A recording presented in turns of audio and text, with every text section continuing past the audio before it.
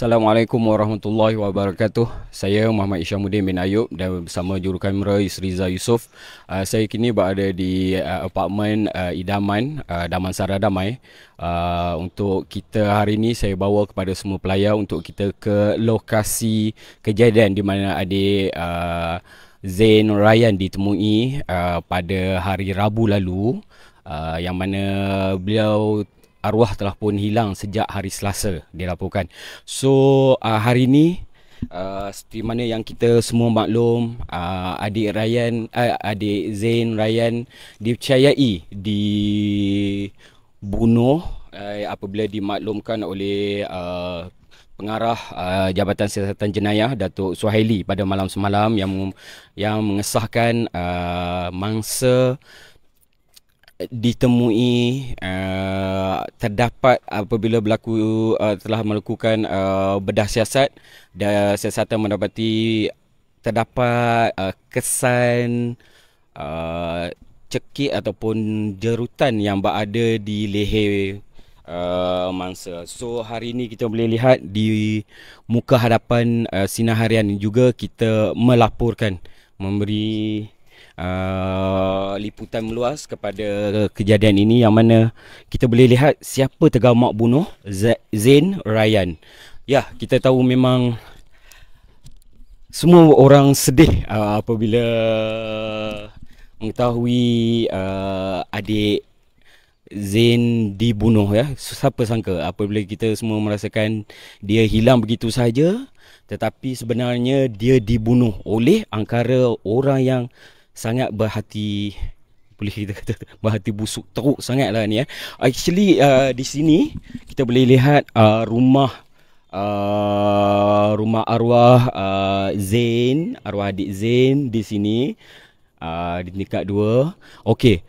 Uh, di sini rumah dia blok R tetapi uh, sekarang saya dan jurugambar uh, Yusrizal akan masuk ke lokasi di mana mayat uh, adik Zain ditemui. Actually pada pagi tadi kita ada lihat uh, sekumpulan anggota yang telah pun datang untuk uh, masuk ke lokasi kejadian mungkin untuk membuat siasatan lanjut atau sebagainya. Namun saya juga dimaklumkan yang uh, sebentar nanti unit K9 juga akan uh, tiba di sini. So mungkin boleh kita bergerak untuk pergi ke lokasi. Yus Rizal hati-hati. Eh licin. Anak pegang ke macam mana ni? Oh, jalan ya. Alright. So di sinilah uh, arwah Zain uh, di rumahnya ya, yang dipercayai telah uh, berlari sebelumnya uh, sekitar pada hari Selasa ada seorang kanak-kanak uh, dapat melihat beliau di blok uh, R ni kemudian kanak-kanak tersebut cuba untuk mendapatkan adik arwah adik Zain. Namun uh, dia dipercayai berlari meninggalkan kawasan. Actually uh, ada satu lagi apartment di sebelah ini namun kawasan ni berpagar. So kemungkinan besar dia berlari dari kawasan rumah dia tadi. Dari sana tadi. Kemudian mungkin melalui jalan sini. Mungkin. Namun uh, itu sekadar teori. Tapi apabila dipercayai uh, adik Zain dibunuh maka uh, teori tersebut mungkin tak berlaku lah. Ya dipercayai uh, adik Zain telah dibawa dicekik di mana mai uh, poli mengesahkan uh, adik Zain telah pun meninggal 48 jam sebelum mayat uh, beliau ditemui. So di sini adalah laluan utama untuk turun ke bahagian bawah di mana di bawah sana akan ada satu anak sungai dan juga kawasan uh, uh, macam takungan air sedikit. So kita akan turun dulu kat sini dan pergi ke sana.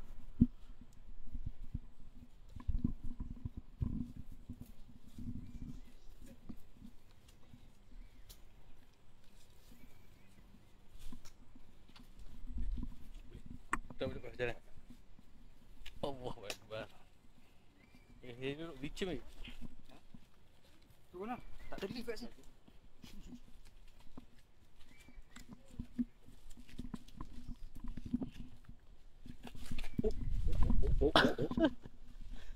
Alright. So uh, kita boleh lihat bagaimana cerun yang agak tinggi uh, untuk seorang kanak-kanak autisma yang berusia 6 tahun untuk turun. Dan kejadian pada waktu itu uh, berlaku juga ada hujan. Jadi kita lihat bagaimana susahnya untuk turun ke kawasan ni. Uh, mungkin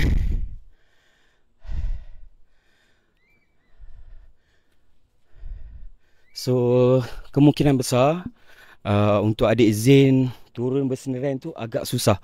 Namun okey kita terus untuk ke lokasi ke mana uh, okey kita dapat lihat sebahagian uh, pihak media telah pun berada di sini sejak awal pagi tadi untuk membuat liputan.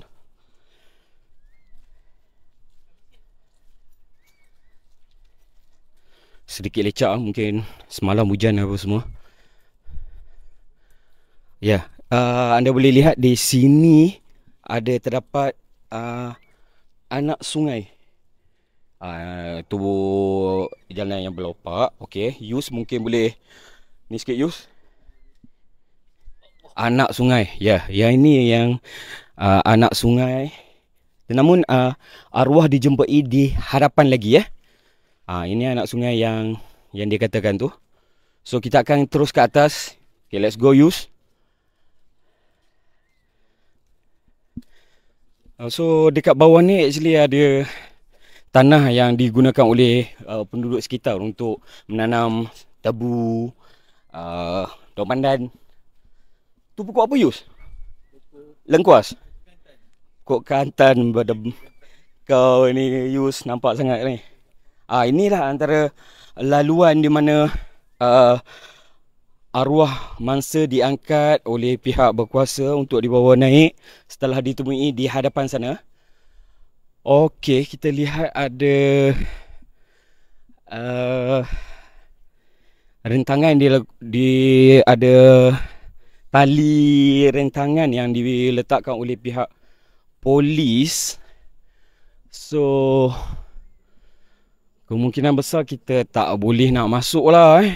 Ah, tetapi kalau boleh lihat di hadapan sana, di hadapan sana uh, yang di situlah uh, arwah ditemui. Uh, actually di dalam sana tu sikit dia ada macam satu takungan air yang turun. Jadi pada waktu malam, uh, waktu saya melaporkan pada kejadian pada malam tu agak gelap, tapi saya merasakan ia agak dalam di kawasan situ.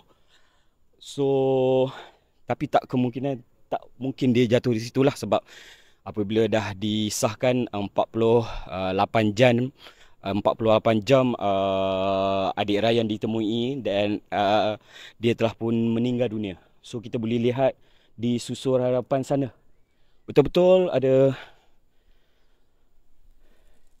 di sekitar pokok pisang tu ada jalan turun di situlah dia uh, adik Ryan ditemui terbaring secara mengiring uh, di sebelah kanan.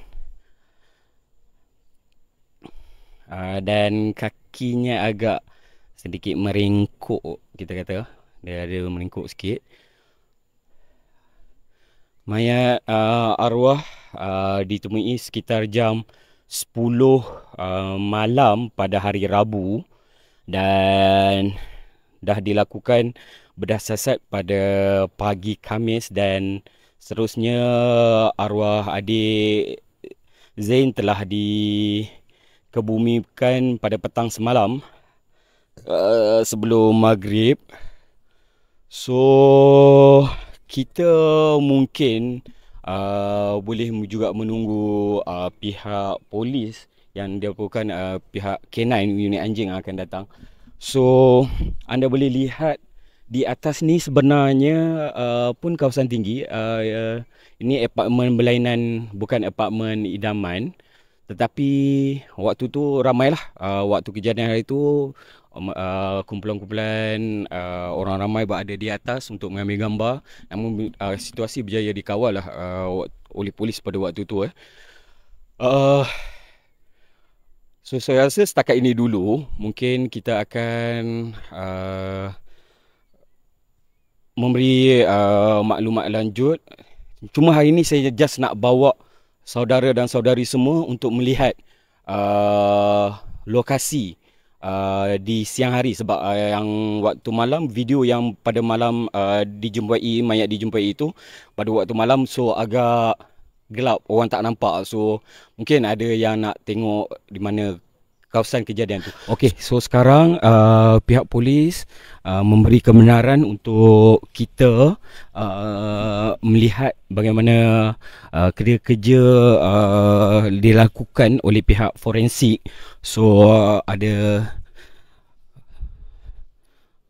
uh, pegawai uh, pihak uh, polis yang membenarkan kita untuk masuk ke dalam um, membuat sedikit uh, sedutan video secara live untuk di dalam. Okey. Kita bergerak sekarang mengikut uh, ada rezeki mungkin kita boleh lihat Apapun terima kasih kepada semua yang sudi uh, melayari uh, sinar harian untuk mengikuti perkembangan terkini. Uh, saudara-saudara, line okey ke? ke dapat korang dapat tengok okey ke tak? Sebab tadi kita cuba untuk buat yang pertama tadi, live yang pertama.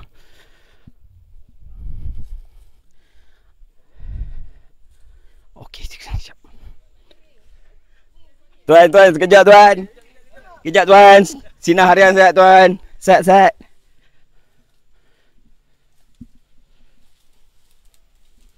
Okey. Kita boleh lihat. Uh, uh,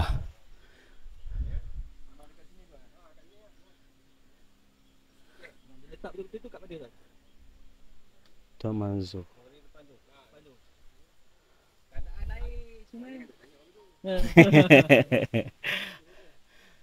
Terima kasih banyak Tuan Manzo. Terima kasih banyak bagi aku.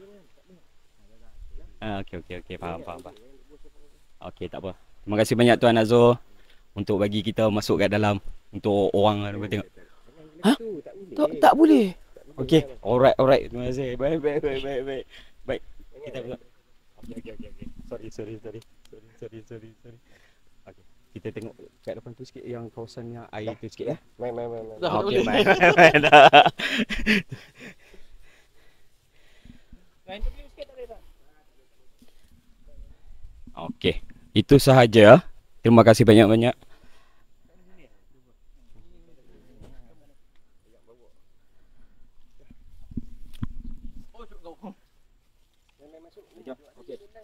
Tuan kat sini tuan eh. Ni ropok ni. Okey okey, boleh boleh. Okey jom. Main hari Jumaat ni. Hari Kita minta orang dengan tepik. Baik baik baik baik. Baik baik insyaallah. Ha, nanti yang penting. Semua semua orang, semua player yang mana melihat ni kita doakan uh, siasatan dan juga dapat dijalankan dengan cepat dan tertangkapnya uh, pelaku yang memang berhati Eh. Hai. So alhamdulillah terima kasih. Sempat juga kita masuk, kita tengok sikit. So begitulah keadaannya. Actually tempat ni eh uh, memang cantik. Uh, yang mana terjaga air sungai pun ada sikit apa semua kan. Ini uh, memang mendamaikan duduk kat sini. Duk memang ada pot juga pun kat depan ni.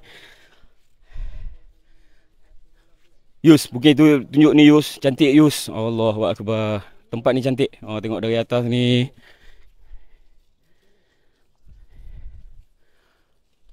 Kat bahagian sini sangat bersih. Cantik je air sungai ni.